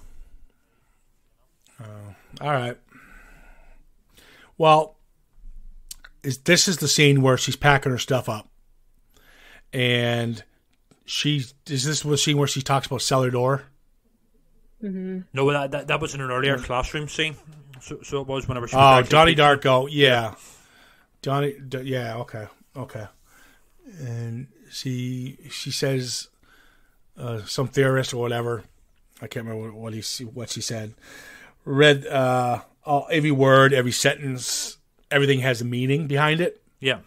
And this this this person don't remember the name of the person came up with the two words that seem to have what is They more were the most beautiful combination Beautiful. of words in the English Yeah. language. yes, Yeah. and it's cellar cellar door. Yeah. Uh, apparently, it was actually Tolkien who came up with that. So it was, you know, who said that. Yeah. Yeah. Why didn't they say Tolkien then? I don't understand. It understand. was actually Tolkien that it was actually Tolkien that originally made the claim that um, she credits it to someone else. Um, I can't remember um, just now, Like but um, some sort of linguist or something. yeah, apparently, uh, Dr. Seuss. Uh, yeah, it was something like that. But um, she um, apparently in reality it was actually um, J.R.R. Tolkien who made the statement about cellar door. There you go. Apparently, Um, there you go. There's there's there's there's uh, well, it's not really Tolkien's fault. Those- I hate those fuck. I hate those movies. right? God. oh my god! Fuck I yeah. know, I know. Newell's gonna have a heart attack because he loves dragons and stuff. oh my god! There's a series we'll never ever talk. Oh my god! Hey, I got an idea. I love the Lord of the Let's Rings make- films. Let's make six films, five hours long each, and just just bore the life out of See, people. See, to be honest, Yeah. I am. eh, with the Lord of the Rings movies, I can take. I could like they're they're okay. They're good, but like I don't. They're not a box set I rush to. I would rather watch the Rocky box set or like I really enjoyed them at the Nightmare on. Elm Street or something. Oh yeah, Yeah. you go, Nuala. That's why Nuala's on this podcast. You know that yeah. they're the kind of po- they're the kind of box sets I rush to, and occasionally Bo Selecta. Um, but Yeah. yeah, other than that, Bo Selecta is hard to beat. Ah. oh, good crack, mad stuff. oh yeah, it turns out that the, uh, the little talent show that we had, um, that the girls got picked. They're going to Star Search. Kitty finds out that her her hero has been arrested on child pornography charges and refuses to believe it. Yeah. And she was the one to chaperone the girls to the Star Search in L.A. She asks the mom, "Would you please chaperone? I need to save." Um, this, this, you know, this is this is a travesty. He wouldn't do something like this. She's a fucking idiot. cognitive Uh, dissonance. But the mom, the mom is, t- uh, yeah, and the mom is not, doesn't really want to go because she doesn't want to leave Donnie by himself because she's obviously been obviously what he's been diagnosed with. But she decides to help out and she goes with the girls to L.A. This means the house will be they will be alone, so it's just going to be the sister and Donnie because the father is also away. Um, this is where everything starts. To, they decide. Um, the mom has a little, a little more of a little closure with him. He pretty much ta- tells her how what's it like having you know having a having a wacko son. So this is kind of uh the mom son turning the It's actually their guess, a little final bit, scene together. Say. it's the last time they'll ever sp- they'll ever speak. Um, it's a lot more pleasant seeing than when he called her a bitch Yeah. earlier in the film. Yeah. They make their peace before. Well, it's the last time to see each other. Yes. Um, and then as the next day approaches, we see four days remain. He has written a letter. He's going to give it to Miss Sparrow, which I kept telling y'all guys during this podcast. She's the crazy lady who keeps going back to the mailbox, back and forth. Well, guess what he's going to do? Um, does he end up putting the letter in the mailbox? He does write her a letter. remember. Yep, Yeah, He writes her a letter, but does he put it in the Yeah. mailbox? that's what you see her picking up at the end out of the mailbox. Okay, so he does do it. right, okay, because yeah. I don't think we see it. Um, he is now hypnotized again with the shrink. Um, he confesses uh, about the school, um, and about the and the burning of the house. Again, doing it in a childlike voice. He talks about Frank and how he's his friend. I have to obey him, um, and I will be all alone if I don't obey him. And he mentions how Frank is going to kill. and she's trying to get who who who, uh, but it's not working. So she uh, he wakes up. We cut back, and the next day, and well, three days later, because now it says one day remains. Yeah. This is where everything starts coming into place. And his sister got into Harvard, and they decide to celebrate by having a Halloween party. So they do. Um, the shrink calls the house and leaves a voicemail. Um, of leaves a voicemail. They didn't hear it because obviously there's a party going around in the background. But they do ask. The shrink does ask somebody needs to call me ASAP because he has she has a growing concern what Donnie might do. There's a brilliant little Gretchen touch here shows- as well in the party where um, it turns out it's actually revealed that Donnie's sister's boyfriend is actually Frank. And um, Yes, I there's a note on the fridge saying, there yet. um, "A way to get more beers, Frank." yeah. Yep, I'm coming to that. Yeah. Trevor. Man, you want to? Do you want to host this thing? Sorry, Wow, do you see that, Nuala? You see that, Nuala? Kieran, I just get overexcited Relax. by little, little, little details. Wow, just, just tag tag me like that, like a monkey on a cupcake. um, yeah. So Gretchen shows up at the party, and she tells her he tells her that my mom's left. I, uh, she's just disappeared. She's afraid that the, the ex boyfriend that she told the story about might have taken her because the place is uh, ramshacked. Um, so she's kind of scared. So as you do, you go up and have sex in the room. yeah, oh yeah, of course. Uh, yeah, yeah. Another. Uh, so, um, uh, Darko's sister, Darko's sister, sister starts walking around looking for Frank. We find out Frank, gee, as you guys all know, plot twist. Frank, Frank, Frank is the the sister's boyfriend's name, and we hear from one in the crowd. He went to get beer, and you make me laugh. Um, I'm just so enthusiastic. so the so so um wait a minute i'm a little confused here no, Donnie, Donnie Oh, and the good. guys go we're in the good. No, bike. we're good yeah they they go up they, they go to the bedroom they have yum yum time so the mom calls back early and um calls back but again it's a message because obviously the party going on saying we're going to come back early in the morning now um so we can catch a red eye flight. So we'll probably be back early in the morning. Then it says six hours remain. Um, he begins to have see the cosmic liquid um, lead him around the house, and as he had yum yum time with Gretchen, he follows it and he sees a handwritten sign on the fridge. Do you know what it says, Trevor? no, no, I can't remember this thing. What- what- this is new to Tell me. us, Kieran. it says Go. Frank, Yeah, go ahead, Kieran. Frank has gone to get beer. What? Um, Is that what it said? Yeah. Yeah. I know. Do you guys didn't see that coming? No. Did you? He's like, "Oh my God, Karen, you're so full of all this clever stuff." Du- du- du.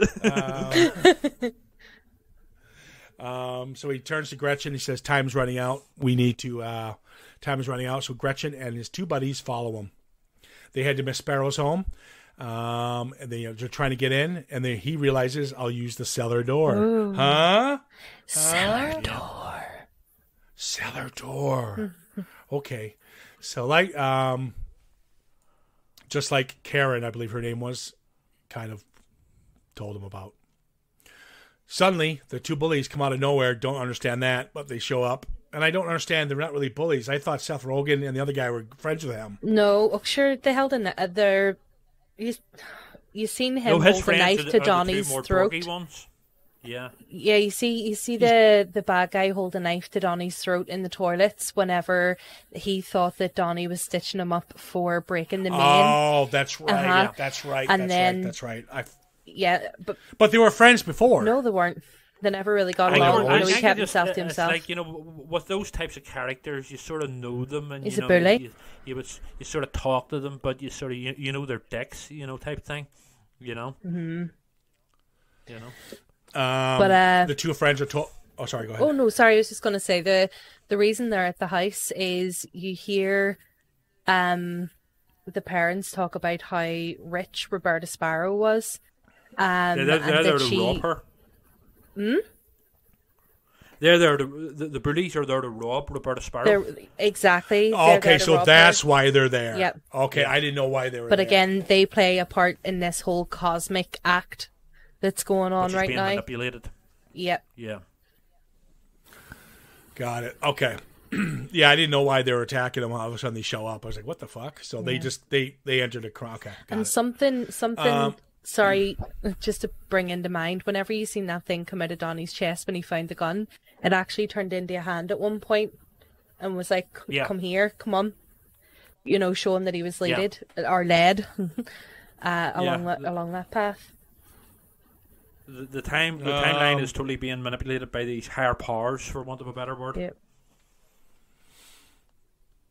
Uh, yeah. So yeah, cool. I didn't, I didn't catch the bullies were there to rob. Um, yeah. So they attack them, and his uh, two friends are the the bullies tell tell them to leave. Uh, car starts coming. Um, Gretchen's kind of been thrown around a little bit. She's kind of dazed, confused on the uh, on the middle of the road as the other bullies are threatening to kill and really hurt Donnie. A car comes by and runs over Gretchen.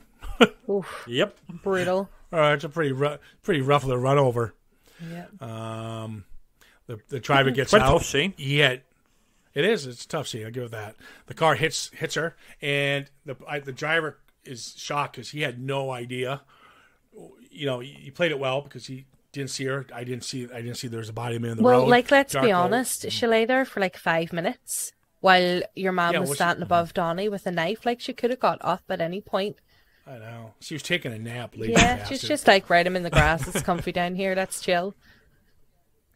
Um, so the two the two guys, the two bullies, And it also run. fulfills the prophecy as well that, that Frank does kill someone, Mm-hmm. even though it was an accident. Um, yeah, the two bullies run away, um, panicking when they saw Gretchen get run over. Uh, the driver comes out and he's uh, he, he was he was like, "I was just going to get beer." And yes, everybody, full circle. That's Frank, um, the sister's boyfriend who left a, a note on the fridge saying, "Going to get beer." It is also Frank the man. He looks just like the man who it does wear the bunny suit. Um, it uh, Donnie Darko. Uh, Donnie knows he's dead now. She he just loses it, and he turns. I don't think he means to do it. He shoots the gun, and he shoots Frank. Guess where, everybody? Right in the eye. Yep. In the shoulder. He in the shoulder. he means he the I'm just leg. means to kidding. I'm shoot him. kidding. He means to shoot Oh, him yeah, right what? in the eye. He does. Oh, okay, Oh yeah, I thought it was just like he a, he's a dead shot. If you see him earlier in the film, whenever he was shooting all the glass bottles and stuff with his friends, he's a really good shot. And he he meant to hit him. This is all again. This is all predetermined stuff.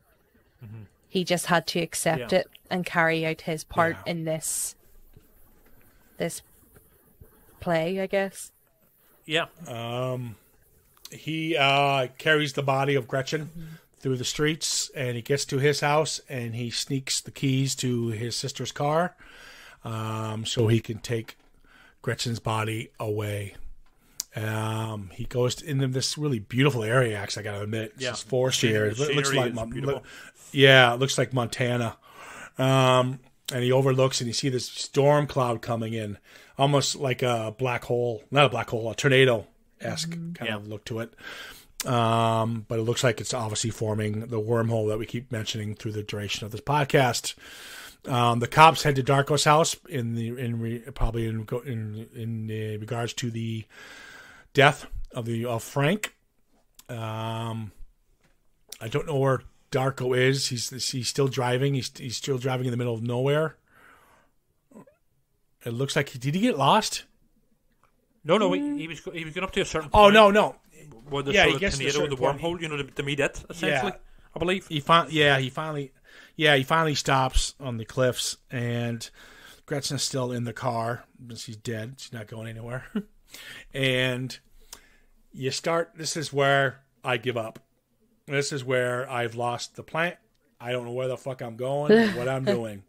I am a blind man. I have no clue what's happening here. Okay. This is what I get out of it. So he's sitting in the middle of nowhere. He sees the blah blah blah clouds. The mom is flying back, red eye. The plane that she is flying in starts having a massive turbulence. Now I assume that was the, the engine coming off the plane that Yeah. they were about to hit, but it's not.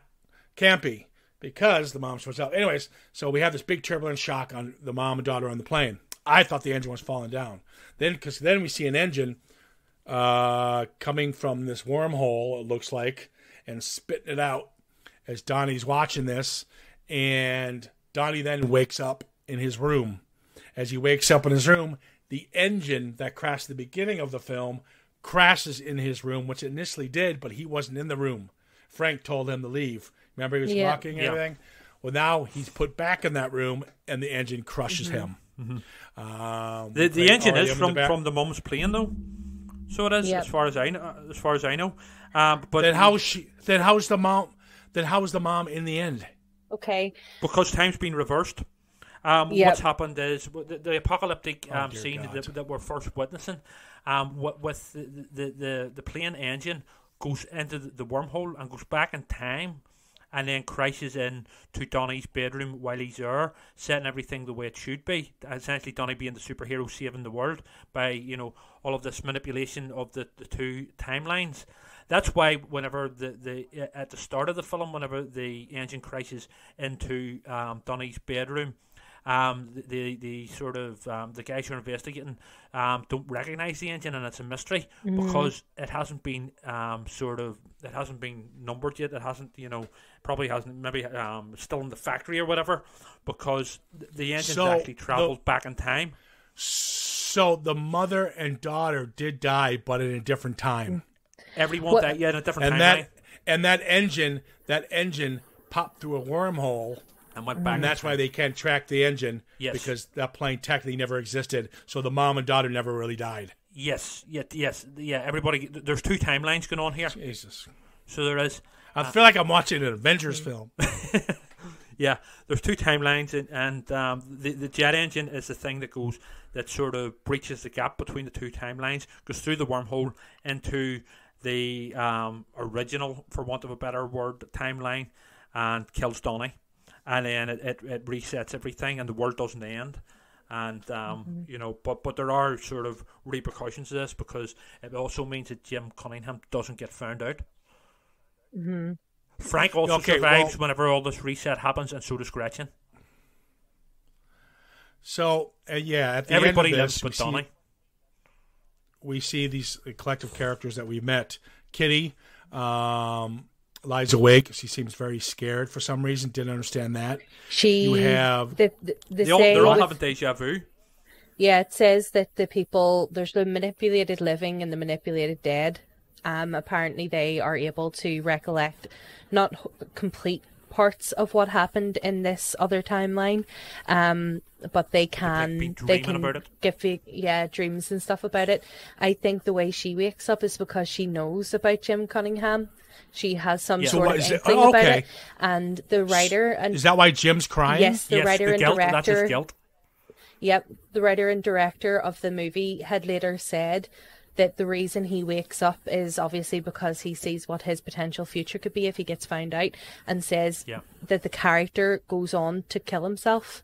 Um, he gets rid of everything and goes on to kill himself on a golf course, and he's never found out. He Yeah. got rid of everything. He didn't have any personal belongings when they went to his property. Destroyed all the evidence type thing. Mm-hmm. I didn't know that. Well, that, that, that- the director said that, but, but that's actually a Mm-hmm. good sort of that makes sense as a character arc. So it does, you Yeah. know. But but they- they're all essentially it's a form of deja vu, you know, as this you know Tears for Fears song, which is um you know sang by someone else, uh, Michael something I think it was. Um, it's michael stipe rem no, it's not. It's It- not it Michael Stipe. wasn't. It, it's Gary Jules. It was Gary Jules. it's not Gary Jules. Gary yep. Jules, it is. When I first watched Oh. Donnie Darko, I thought that's REM, Michael Stipe, without doubt. But it wasn't. It was Gary. yeah Jules. that's what i thought it was And it was later, but it's good. originally a, a Tears for Fears song, and it was actually th- th- this version that features in the film, um, the Gary Jules version, um, Mad World. It's called. Um, it was Yeah. released in the UK and went to the Christmas number one into like 2003 That's or right. something. So it did just to really fucking cheer us up, you know, that year at Well, Christmas. at the end, yeah, at, at the end, yeah, we were kind of, um, yeah, Mad World's playing in the background. It's a slow picture. You have the father crying, holding the daughter. Uh, the sister is crying. Yeah. The mother sp- kind of stays away from them a little bit in the side, and she's smoking a cigarette. We see Gretchen, who's back alive now, Yes. walking past, and she waves at the mom, and the mom waves back. Don't know why. De- deja vu. And it's, a, it's a deja vu thing. Credits see. roll. It's that, like this whole sort of. other. I know you from somewhere, but I just can't put my finger on it. You know, and it's from the alternate timeline. So it is. So it is. Well, there you go, Donnie Darko. we spent about an hour talk, talking about it, and 28 minutes talking about Lord of the Rings, Hereditary, Monkeys, Chuck Norris. um, Chuck Norris, and uh, I thought it'd be a little longer, but there's so much to dissect in this film. It's probably wouldn't do it justice. You probably got to watch Yeah, it it had yourself to be kind of pick up the rest. All right, guys. Uh, Trevor, what do you got on me? What do you got? Um, yeah, I, I must admit, although there there is little things that annoy me about the, the film, but they are tiny things. I must admit. Um, since I first watched this film, um, whenever it was first released on DVD and, and video back in like 2002 or whatever, um, I have always, I mean, I love time travel films anyway, but I think it is an excellently written and realized film. I think it's very, very good indeed. Um, you know, and uh, I, I love films where you, you, you, know, they always improve on repeat viewings. So yeah, it's definitely it's a cult classic, and it's a cult classic for a reason. And I would thoroughly recommend it. But it's not, as we discussed earlier, it's not mainstream viewing. You know, I suppose in a way it does, on a certain level, it does work in a sort of mainstream way. But you'll not get, you know, you'll not get the full value out of it if you watch it in a mainstream sort of manner. You know, this this film, you don't watch this film, you study this film. You know, mm-hmm. and that's all part of the fun. But again, mainstream viewers, you know, aren't going to invest in that sort of thing a, a lot of the time. You know, but they don't know what they're missing. Yeah, you know. So I would certainly mm-hmm. recommend not watching this film, but studying it. You know, on repeat viewings. Yeah. That's it. Beautifully put. Gotta agree, one hundred percent. Um, very interesting movie. I seen it uh, back in two thousand two or two thousand three. I can't remember exactly when it came out, but uh, but the early two thousands, and I must have been about twelve, and Yeah. found it fascinating. Um, fell in love with uh, Donnie Darko as a character, because my goodness, um, and also just wanted to to to watch it more and learn a bit more about it. Because I was like, wait a wee minute, I don't completely understand this. I need like and stuck it back in. And it's like I need to to know more. You know what I mean? Because even then, I kind of picked up that there's there's a bit more to this and didn't understand. I didn't understand it the first time I watched it, and I've really enjoyed coming back to this movie. Like I've watched it quite a bit throughout my teenage years and in, in my twenties, but it's been been a bit of a while since I've watched it, and I think I've watched it maybe three times in preparation for this podcast, and I have enjoyed watching it each and every time and I really enjoyed learning about it. It it it's it's a yeah, the soundtrack is brilliant. The way the story's put together is very interesting and if you're looking for value for money in a movie, this has it because it has rewatchability and it's something different. I would definitely recommend checking it out. Here, here. Um, yeah, we mentioned movies. Uh, it's a coming of it's a coming of age love story in its own right, a coming of age film. Like we mentioned, Breakfast Club, Pretty in Pink, Sixteen Candles, the John Hughes movement, Yeah. as I called it. Um, it is. It's it's pretty much those films with a fantasy Twilight Zone esque thrown into it. And I saw this movie 20 years ago. I fucking hated it. Oh dear God! I was like, "What the fuck is this?" And just to just explain, I think I wasn't the only one. Movie tanked. Yeah. Didn't make anything. The director has no career. This is not, you know. But to piggyback on what you said, Charlie, it became a cult film. Yeah. And I like cult films. Uh, a lot of my favorite films, especially by John Carpenter, are cult films um, that takes a second viewing. This quickly found its audience pretty quick. It has festivals based built built around it. It has a somewhat of a really bad sequel, I think, that came out right to video. Yeah. Son of Darko, I think it was called. Um, it tries to be clever in that sense where it does like the Sixth Sense does. Sixth Sense does do it better. I know you guys are going to boo me on that. Everyone's going to boo me on that. I like Sixth Sense because every piece is point is perfectly fit. Some of the pieces on this one do not fit, but in Sixth Sense it does, and I love my Sixth Sense. And I know a lot of people who probably watch this hate M Night Shyamalan, I like him. but say what you want. Say what you want about him no, I, I think he's great. this th- no I, I, I this this um director would not have made this with it because he certainly saw the sixth sense Well, can I just add to that Guarantee that um, M. Night and um, Richard Kelly, the director of Donnie Darko, are both. Um, you referenced Twilight Zone earlier. They're both huge Twilight Zone fans, and it comes across in their work. Actually, um, Richard Kelly actually followed Donnie Darko up with a film called The Box, which was essentially a remake of an old 1980s um, Twilight Zone episode. So yeah, there's. Definitely, yeah, yeah the yeah. Twilight He- Zone thing is. There, there, there's similarities between the two directors, and both are hugely inspired by the Twilight Zone. And I'm a huge Twilight Zone fan Uh, myself.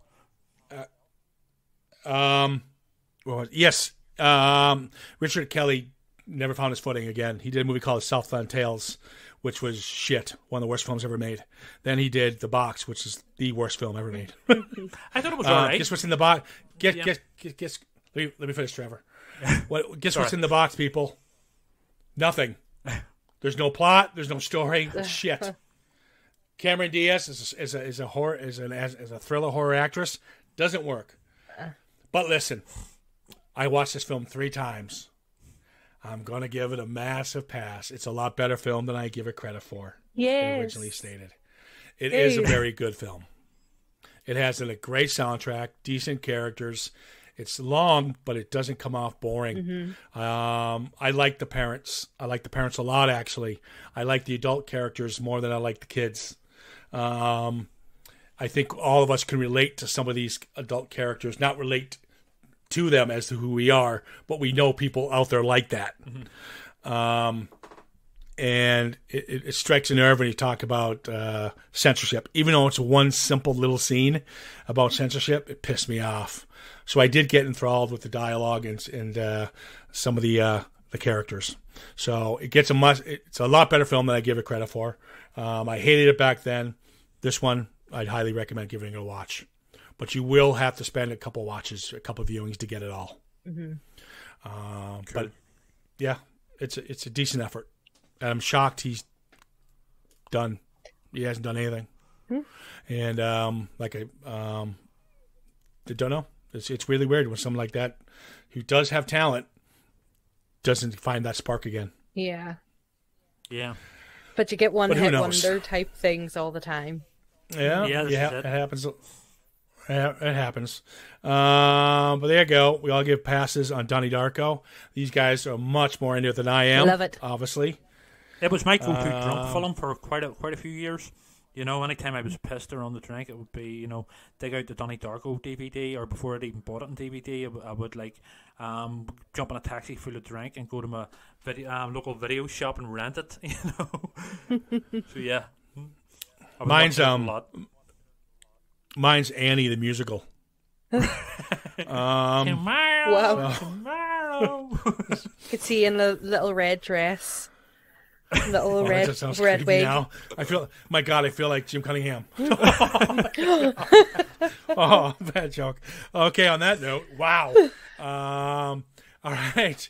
Uh, we were gonna do Fatal Attraction coming up, but it looks like a little bit of a delay. We had some hiccup with equipment, like I mentioned earlier, so we're gonna push that to the new year because we got Christmas month coming up, and we all talk about Die Hard as a Christmas movie, but why aren't people talking about Lethal Weapon? Yep. Came out 1st and it has a lot more to do with Christmas than Die Hard did. Agreed.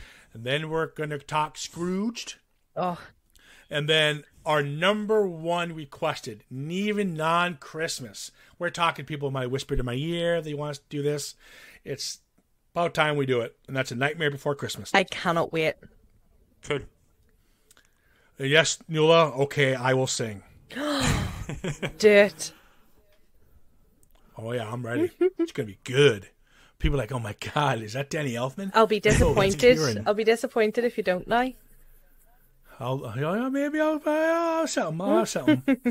um, and then the new year, we got all new releases coming out, which is nice, including the new Wonder Woman. So uh, that should be fun. Getting back to some of the newer stuff that's finally getting released that we can have access to it.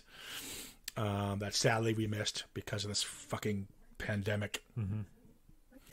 Uh, that's a wrapperuno, guys. We're going to end this one. Um, listen, we're still getting a lot of downloads. We're averaging, like I said, about five or six a day, which is a lot for considering no advertisement. Thank you. And that we, thank you. Yes, that's right. Yeah, And thank we you for listening, just- everyone. Yeah, we just uh, don't know what it is. It's not, it's not me. Definitely not I don't know me. what I'm doing. Uh, not me Uh, either. I don't know. It must be you, Nuala. wow, Oh, we have we have such we have such confidence in ourselves. yeah. Um, Why are you here? Oh my god, I didn't like doing that podcast with Donnie Darko. You guys are like, oh yeah, I understand that the stairs represented a larger portion of the stairway to heaven. Where blah, blah. and I'm like, I'm like, uh, I'm like, could you please pass the popcorn? When's hell. the next bar fight? No. Yeah, Where's Chuck? When Where's Chuck pop up? yeah. Where's Where's Schwarzenegger and the chopper? um, all right, guys, we're gonna wrap this one up. You guys have a good night. Thanks for joining me, Pleasure as always. and Yep, thank you. we are out. Have a good night, guys. Peace. Have a great one. Bye bye.